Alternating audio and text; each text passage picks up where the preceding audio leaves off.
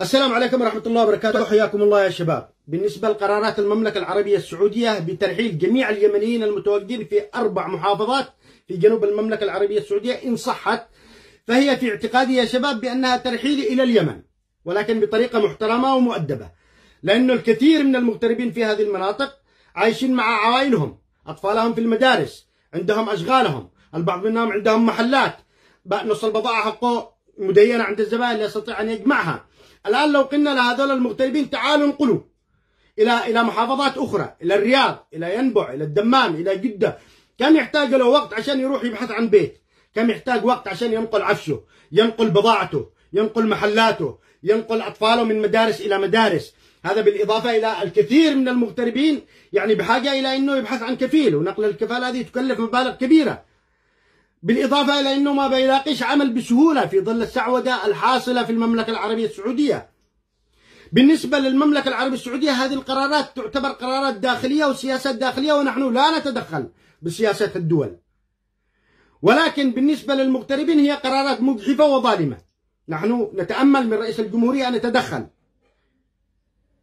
كل يوم إحنا نسمع عبد رب منصور رئيس الجمهورية قابل جلالة الملك. رئيس الجمهورية قابل سمو الأمير محمد بن سلمان. رئيس الجمهورية قابل نائب وزير الدفاع. طيب إيش النتائج؟ ماذا قدمتم للمغترب الذي يعاني؟ أصبح أكبر إنجاز للمغترب أنه يستطيع أن يخرج من المنفذ أو يعود من المنفذ إلى المملكة. وأنتم نايمين ثمان سنوات بالفنادق.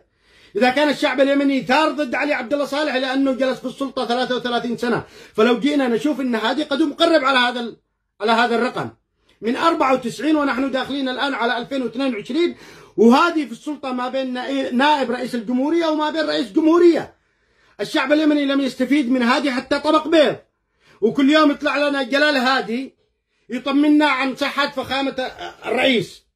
وكل يوم يطلع يقول لنا يعني يغرد في تويتر بأنه الرئيس عبد الرب منصور هادي تم انتخابه بطريقة شرعية ولا أحد يستطيع أن يتجاهل هذه هذه الشرعية. يا بابا أبوك كان رئيس لفترة انتقالية لمدة سنتين. الآن من 2011 إلى الآن إحنا داخلين على 12 سنة. إذا كان عبد الرب منصور هادي مش قادر يصير رئيس ل 30 مليون نحن نكتفي بأن يكون رئيس للمغتربين في المملكة العربية السعودية وكفى. إما أن يخدم المغتربين ويخدم المواطن اليمني أو فليرحل هذه غير مأسوفا عليه